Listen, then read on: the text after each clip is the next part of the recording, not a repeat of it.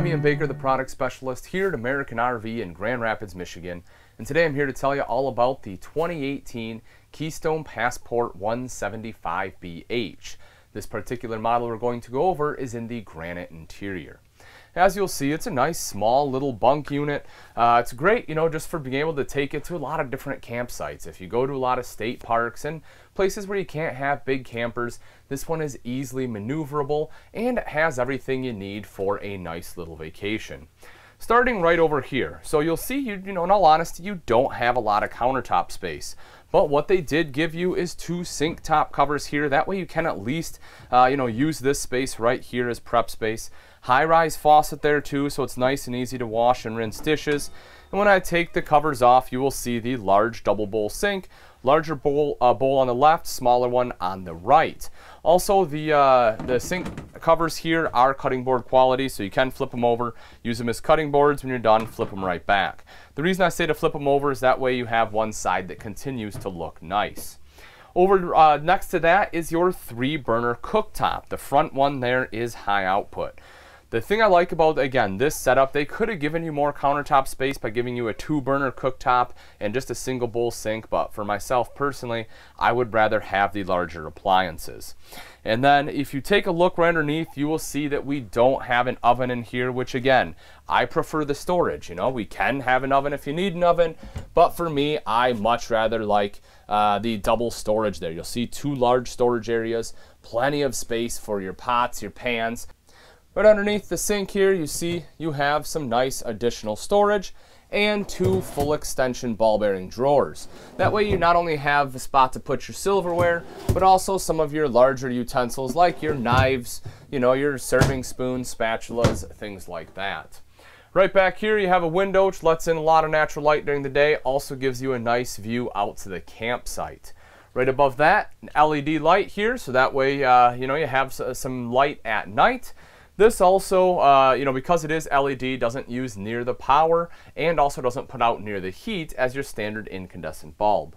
Then right next to that, you'll also notice you have an electrical outlet. So if you have a coffee maker, blender, toaster, whatever it may be you need to plug in, that is where you would do it at. If you take a look at the side up here, uh, you will see the multimedia center. Uh, this is a pretty nice little multimedia center here. It does control the speakers both in here as well as the speakers outside. Uh, this one also is Bluetooth capable. You can see your speaker selector right there. So again, inside, outside, or you can have them both running at the same time. Back over to the front is the TV. This unit does come with a TV, so you don't have to worry about going out and buying one. And the nice thing about the TV is it's on a swivel arm mount as well. So if you want to lay in bed and watch a show, you can turn it toward you. You can leave it just like it is for the dinette, or you can even turn it to the back so the kids can watch uh, TV before they go to bed for the night. Right up top here is your microwave, and then directly underneath that is a hood with both a light and a fan. Rounding out the kitchen here is your Dometic fridge freezer. You'll see that they have the wood looking panels on here, which I personally like because they're easier to keep clean than your stainless or black. And if you take a look inside here, you see you have ample storage.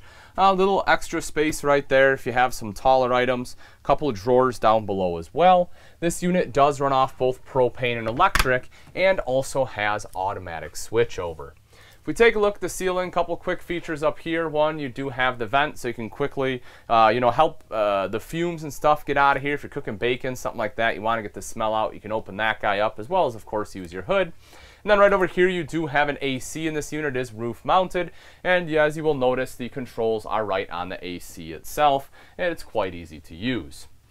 If we take a look in the back, this is the bathroom here. Uh, right back in the corner is your foot flush lever toilet. You'll see you have plenty of leg room as well as shoulder room all the way around there. Um, over to the side here is the tub shower. I like having a tub shower in a bunkhouse because that way if the kids are smaller and you want to give them a bath, you're able to do that here. You also have a hand wand for easy showering, some shelves there. And up top, you have a nice big skylight, which not only gives you additional headroom, but also lets a lot of natural light in during the day. Over to the side here is your vent fans. That way you can quickly help moisture escape, uh, make sure that you know your bathroom stays nice and dry. And then right underneath that is your mirrored medicine cabinet with storage behind it. Over to the side here, right outside the bathroom, are your double bunks. 300 pound weight capacity on here, so they can hold plenty of weight. Teddy Bear Bunk Series bunks, they're nice and soft. You'll see the top here does have a window that is an emergency exit. And then right down below, you have a door. Uh, you may have seen this in some bunk models before. I'll show you when we go outside. This allows uh, to really carry a lot of stuff here. It's a great storage option. You can load up from the outside. Again, we'll uh, take a look at that in just a moment. Right over here is the dinette. As I mentioned, this is the graphite interior. One of the things I really like about the dinette here is that the bottoms are this nice leatherette material. The reason I like that is because, again, you're going to have kids in here. Chances are they're messy eaters. They'll be spilling food and stuff. Maybe they just come in from the beach. They have wet swim trunks. You don't have to worry about them messing up any cloth here, and it gets nice and easy cleanup. Also, if you do have additional guests that need to stay the night, the table does drop down into a bed. It's pretty simple to do. Basically all I have to do is fold the leg up right here. You will actually remove it from the back. It basically clips into the wall, so that's pretty easy to, to maneuver. And then the table itself will sit right here along these rails on both sides. You'll then take the back cushions, put them on top of the table, and that will give you that additional sleeping space. Right over here's a nice big window again to let in a lot of natural light. Right underneath you'll see you have an LED light then if you take a look, not on one, but on both sides, you have electrical outlets. So that's pretty nice, you know, if you need to sit here and charge cell phones, uh, you know, or maybe you want to plug in a, I don't know, whatever it may be, you have the ability to do that there, tablet, whatever. But I, again, I like the fact there's a lot of electrical outlets here in this main living area.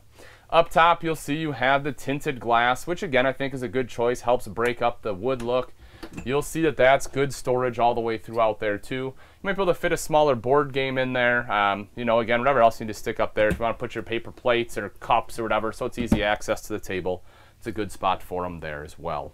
Then as we take a look up front, you see your queen size bed. Uh, this is actually a camper queen, so it is 60 inches wide by 74 inches long. That'll be about 6 inches short of your standard residential queen. Right up at the head of the bed there, you see you have a window. Again, that is also an emergency exit.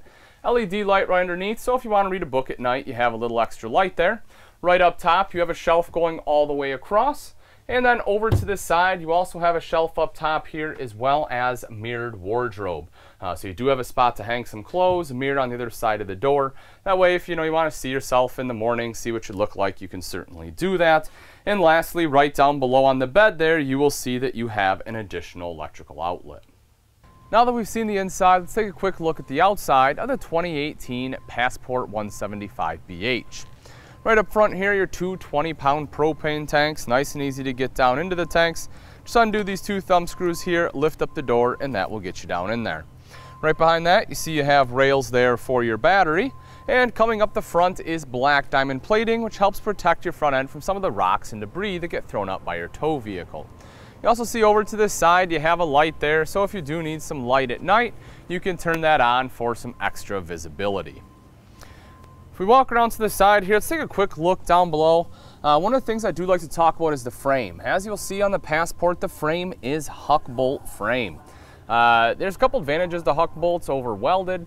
One is that the number one place your frame tends to rust out at is right at that weld seam. So by eliminating that weld seam, you reduce the chance for rust to start in that location. Also, if you ever do get into an accident, any kind of damage, your Huck bolt frame is a lot easier to replace, meaning it will be less expensive for you in the end.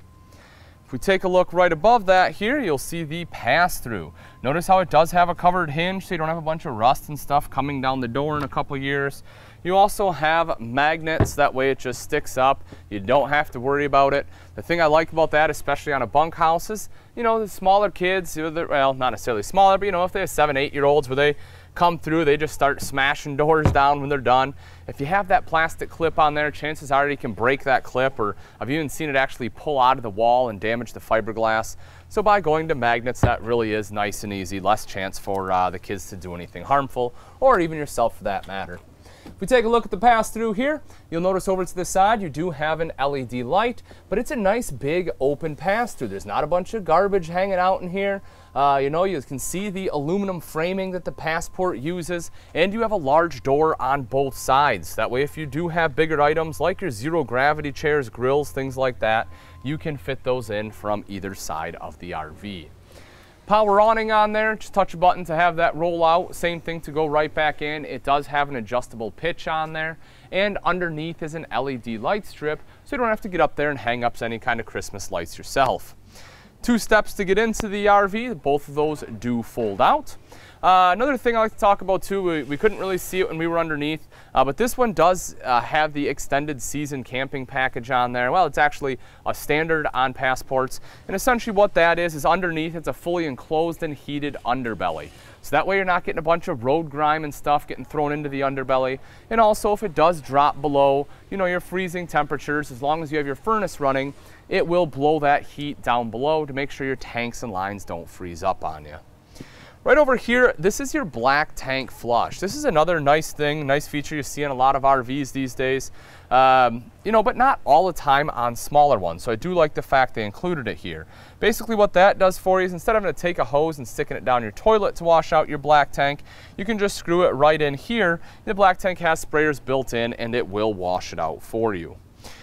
We take a look at the wheel, you will see that uh, you have aluminum alloy wheels there. Not only do those look great, but also they won't rust on you and less chance for any corrosion. Right up top, here's your electrical outlet. That way, if you need to plug anything in outside, that's a good spot to do it, whether that be, you know, your cell phone, crock pot, or whatever else you need to plug in, that is where you would do it at. Underneath the awning, you see this one does have two outside speakers. As I had previously mentioned, we were inside. Uh, those are controlled by that multimedia center inside, but again, it is Bluetooth capable. That way you can sit out here underneath your awning and use your smartphone or tablet to be able to control the music. Mounted right on the back, here's your spare tire, makes it really easy to get to. Uh, hopefully you never have to use this, but in the event that you do, it's a great peace of mind knowing it's riding right back here. Your sewer hose will store right in this container and you simply turn that door off and that will give you access to that compartment. Cable inlet right up top here. Then over to the side, this is the door I was talking about when we were inside. So again, you know, this is nothing that's super unique to Passport, but I do like it on this floor plan. And basically what it is is this right here. This bottom bunk lifts up.